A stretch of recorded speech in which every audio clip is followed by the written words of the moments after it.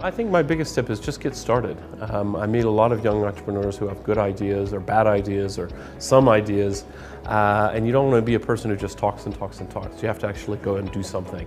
And don't worry about uh, if it's the perfect thing or not. There is this myth of entrepreneurship that you'll have the one genius idea and suddenly everything falls into place. It doesn't work like that. It's a hard slog. There's a lot of things to do wrong, a lot of things you'll do right. Um, the sooner you get started, the sooner you'll get somewhere. You know, one of the things that I tell people when they ask me for advice about what they should do when they're wanting to start their own business uh, or take a next step in their career is to actually start small. I think a lot of people try to, um, they kind of psych themselves out or they get too overwhelmed with how big something can get. But the truth is, you really just got to start small and you got to prove it before you scale it. If I had to choose one thing that really motivates me that I can recommend to a lot of young entrepreneurs, it's having that finding and understanding why you're doing what you're doing, you know, having a sense of purpose. Because oftentimes I've, i meet so many aspiring entrepreneurs and they have these great ideas, but they don't even know why they're doing it. Money should be a byproduct of what you love to do. Try to do something that you would want to do anyway, whether it's, uh, it doesn't necessarily have to be a very successful business because um, when you do decide to become an entrepreneur and start a business, chances are it's not going to do it's not going to become like a multi-million dollar business. So at least do something that you love in the beginning so that even if it fails you'd still enjoy it make sure you choose you know when, you, when you're trying to decide whether or not an idea is good enough to pursue or, or a particular business is something you want to you want to go forward with make sure that it's the type of business that when you're standing in the shower it's the thing you want to think about for the next 10 or 20 years basically the theory is we're all born thinking like entrepreneurs. You know, like when we crawl and we start and we fall, uh, you know, when we're trying to walk, we figure it out. Entrepreneurs always figure out, you're born thinking like an entrepreneur that, you know what, I'm going to figure this out regardless and I'm going to keep going. Now, often the challenge is families and friends convince you not to be an entrepreneur because when you say I'm going to change the world, I'm going to be the most famous person, I'm going to save the seals, they say don't do that. You it, it didn't happen before. Yeah. You, it's never happened. You're gonna you're gonna you're gonna fail. You're gonna embarrass us. They put the limiters on it. They put the limiters. on. Yeah. They put the blinders on you. But true entrepreneurs will just keep figuring it out. And you know what everybody wants to hear? What they already believe to be true. And so the last thing they want to hear is an original idea that contradicts their belief system. So it's very hard to even bring that kind of stuff up. But those are the things, those are the only things, things that you believe that everybody around you doesn't believe when you're right that create real value in the world. Everything else people already know. There's no value created. It's just business as usual. So it's so important to think for yourself. Don't solicit feedback on your product, your idea, or your business just for validation purposes. Be really careful about that. You want to tell the people that can help move your idea forward, but if you're just looking to your friend, coworker, husband, wife for validation, be careful because out of love and concern, a lot of people will express some concerns and it can stop a lot of multi-million dollar ideas right in their tracks in the beginning.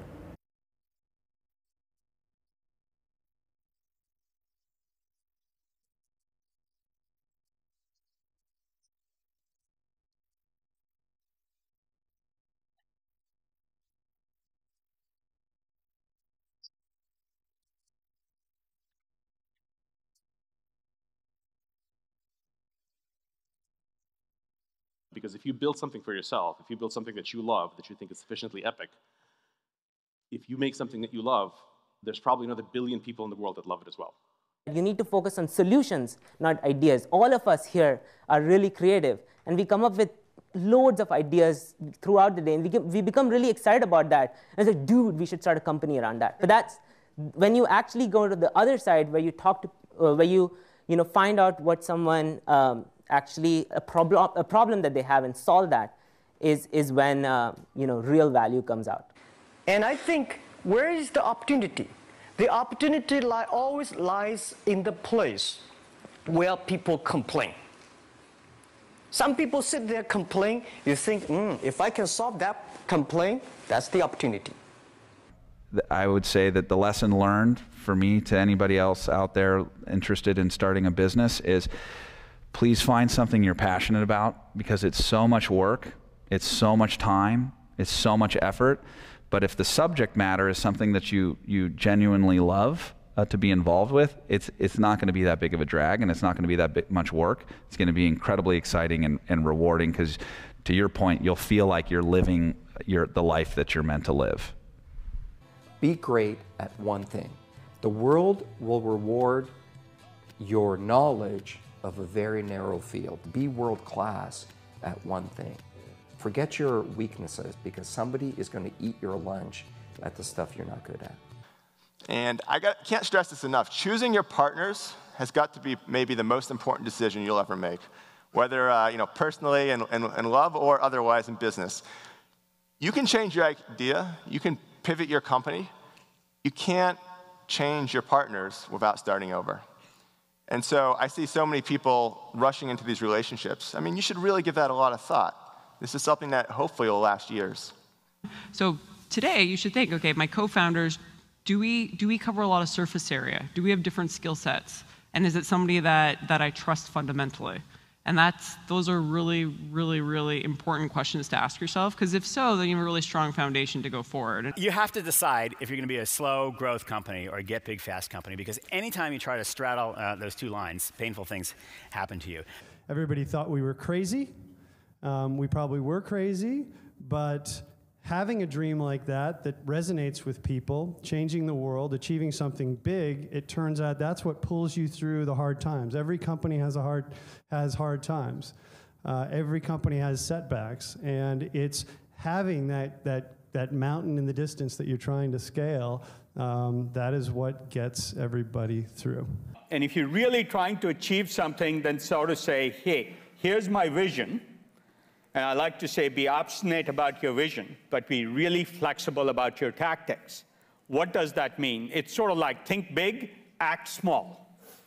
Uh, what that means is it's important to have a vision of where you're trying to go. How you get there is a series of experiments. Now, you can call them failures when they don't work, but they're learning experiments where you try things, see what works, try the next thing if you're going to start your own thing, you know, maybe you have a grand, grand vision of like all the different features it's going to have and all the different, you know, revenue lines you're going to do and, you know, keep, keep that vision, but do one piece of that first and do it really, really, really well. It's so much better to do a few things well than many things poorly. People really love simplicity. So if you look at the problems with large software like Microsoft Office, Every feature in Microsoft Office, somebody wanted at some time. But what happens is over 10 or 20 years, the thing gets so huge, it's overwhelming.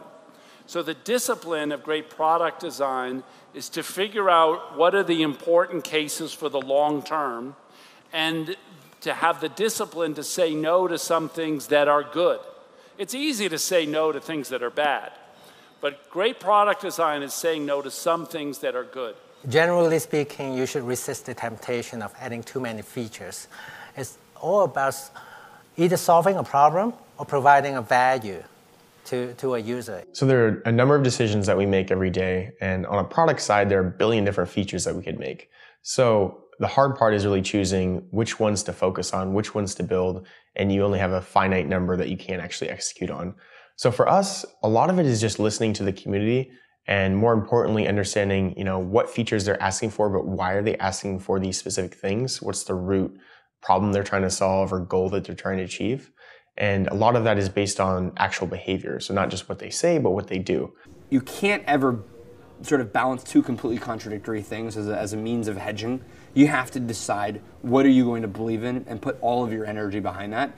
And that's that's the those are the kinds of strategic decisions and trade-offs that you make every day as an entrepreneur. And it's important that you create the level of clarity and conviction to go after an opportunity that isn't hedging you know lots of different ideas or lots of different approaches because that's the surest way that you'll never be good at, at sort of anything.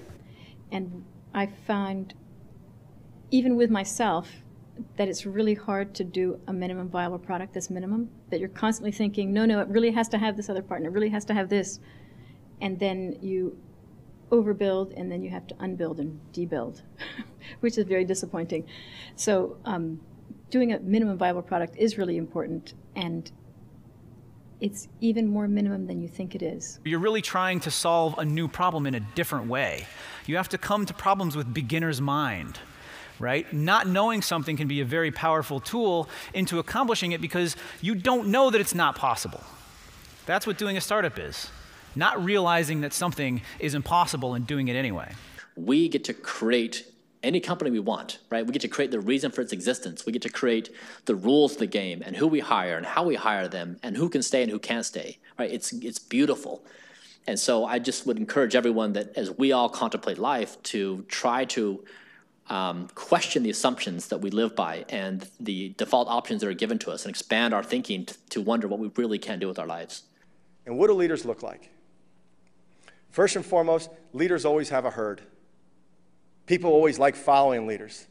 Maybe it's their charisma, maybe it's their personality, maybe it's because they're so in belief of what they say that you have the ability to convince people to buy into your vision, not just for a paycheck. It's something more than that. Because great leaders, they don't only have a herd, they fight for their herd, and the herd knows that. That's your job as entrepreneurs. These are not employees that do your bidding. These are partners that you should bring into your space. And you should be treated like that. And they should be treated like that with respect and with dignity. But ultimately, the biggest thing, and what I still, still spend from a third to a majority of my time on, is hiring. Uh, nothing has the impact of uh, getting the right people around the table. And you can't manage your way out of a bad team. Uh, values are you know, who you are, right? You don't have personal values, professional values. It's really what you stand for. And again, there's no black and white answer here. There's no right or wrong value. But if you're building a team or building an organization, you want to understand your identity. And then it mostly impacts hiring. It impacts the way that you decide to add people to your team. Um, otherwise, you can become uh, very, very split in terms of what your mission is. Uh, and so some of the best I got, advice I got was from uh, Paul Graham, one of the investors in Stripe, uh, who, who talks a lot about unscalable strategies for user acquisition. Uh, say, for example, you helping each user personally. Sure, that won't scale as you grow to a very large size, but when a startup is just starting out, uh, it, it really helps you have an advantage as a small and nimble company if you're going to have a breakout startup, you've really got to think about how you're going to innovate on distribution, not just product right? And the, the biggest mistake I see these days that um, I see brilliant startup founders who are brilliant product people, and they've really thought about their product, but they haven't really thought about how they're going to make it grow. And then they launch their product, and it's like crickets chirping. No one, no one's using it, and they're kind of flummoxed as to what to do because they've never really spent time thinking about it. And they just kind of assume that, hey, if you build a good product, everyone's going to find it. And the reality is it's a big web out there. And um, that's not necessarily true. You know, I think what I see right now is people wrap up their sense of success and identity with their prowess in fundraising and comparing themselves against how their peers are doing. Uh, I think that's really the wrong way to, to look at things, and it, and it leads to uh, kind of non optimal outcomes. Um, for instance, I don't know if the valuations that companies are getting today is necessarily healthy for the company themselves. And for us, again, you know, our inability to raise capital actually forced us to be very disciplined in how we think about the operational metrics of the company, and that's allowed us to, uh, you know, be pretty successful. I think that's what people always have to ask themselves: Do you believe in the concept of what you're doing? Do you believe that there's really a there there? If you can figure out the right, you know, product package or the right way to reach users, and if you believe that, then you know, keep keep scrapping because usually there's a way. And so it's about this movement forward, not what you own, not your education or your pedigree, not pile of resources you might have at hand, not your network, just going after this thing and knowing that as you do that, you'll find what you need, you'll make your way over, around, and through. And I think the best entrepreneurs that I've met are able to do that because they have this strong vision and they know that it's worth it to keep moving forward. Larger, more established entities can't move as quickly as you can. And um, success and scale and size all fight against this. And I would encourage you for the longest possible time as you sort of start your own companies to, to look for ways to stay agile. So you know the most important thing you can actually advise yourself or anyone else? Ignore your mistakes. Like, what is your problem? You're good at some things, just go do that. The number one thing you should worry about is am I doing the things that I'm good at? When you start with a, your company, you're going to have a lot of anxiety and stress and fear, and your job is to transform that into uh, self-confidence and to give you kind of that, you know, the ability to say, I have clarity, I trust myself, I have a feeling for my vision, I can see that happening. I work with entrepreneurs all the time. That kind of shift from, you know, anxiety to trust that's the most important thing that, that, that they can go through. Building really great companies just takes a while, and it's good to not try to do it too fast. It's really, really, really good to be ambitious, obviously. Um, but it's not that great to be too hasty. Uh, be lucky. I think when I give that advice, be lucky. It's a little bit glib, but I think there's also looking out for those opportunities and being conscious um, and being aware and looking for opportunities to, to be lucky. Because you can definitely put yourself in a position where luck isn't going to make any difference. It's not necessarily about the the exit or the outcome. It's it's about the journey. So it's uh, for me. It's just I, I think you just you just need to enjoy that aspect of it. It's uh, you know because it's not a, an always uh, an easy ride. It's uh, there's a lot of up, ups and downs along the way, but as long as you're personally fulfilled uh, by that experience and genuinely enjoy what you do, then it makes it worthwhile. I think you know if you know why you're doing something and what it is that you're trying to get, then it's a question of being very, very open to failure, and um, and just you know trying again and again and again until you get it. The beauty of failing is if you're open to admitting the failure and learning from it, um, you probably won't fail again in that one department and you'll know what to expect next time and that just makes you stronger and, and more accurate with the risks that you take. A rule of thumb is to only worry about the next order of magnitude. So when you have 100 users, worry about what the company looks like. Can it survive to 1,000? 1,000, 10,000, and so on and so forth. If you're worrying about the millionth user and their experience and how your technology is going to scale when you have 100 users, you're, you're pointed in the wrong direction. But we realized it pays to be a cockroach. And, and by that, I mean, uh, it pays just to not stop and just to not die. Like, we thought, you know, everything along the way had tried to kill us, right? Like, all of our friends were like, startups are dumb, uh, you're dumb, your ideas are dumb. Um, and we kind of just looked at all of them and said, whatever, uh, and built Codecademy. So it pays not to quit. Go talk to people who failed at what you're doing um, and who are no longer doing it. Um, there always are those people. Um, so you started a startup, you know, you look at the history of your space. I'm so surprised how many people I talk to, founders who have no idea the history of their own space. and there's some night, there's some nice naivete to that in the sense that like oh, you're going to do it differently, and um, and there, there's some truth to that. But like when you get down to, to, to, making it work and now you're into it already, you, you've kind of established what you're doing, you have some problems, then I'd go talk to all these people who failed because you, will uncover all sorts of interesting uh, things that you could try. You know, I looked at lots of companies and why I thought they don't succeed over time. We've had a more rapid turnover of companies. And I said, what did they fundamentally do wrong? Like, what do those companies all do wrong? And usually it's just they miss the future. And so I think for me, I just try to focus on that and say, what is that future really going to be, and how do we create it? I think great entrepreneurs must have the curiosity to, to kind of metaphorically see around the corner. What's coming? What can I anticipate that other people don't see? Um, and then you must have the courage of your convictions to execute the strategy. I do believe that organizations, human organizations, are inherently unstable. They will fall over, and you have to work to keep them upright. But they fall slowly. Most people don't notice it. They let their success eh, eh, blind them. They don't see it falling over. The falling takes place slow, but the collapse is quick. Um, you have to do constant assessment. Um, you have to look for the hard truths. There's a lot of conventional wisdom out there, built up over time and built through all the learnings from all the companies. And this may be fully applicable to most of the companies out there. But before it's applied to your organization, I highly recommend that you question it because it could be absolutely fatal for your success.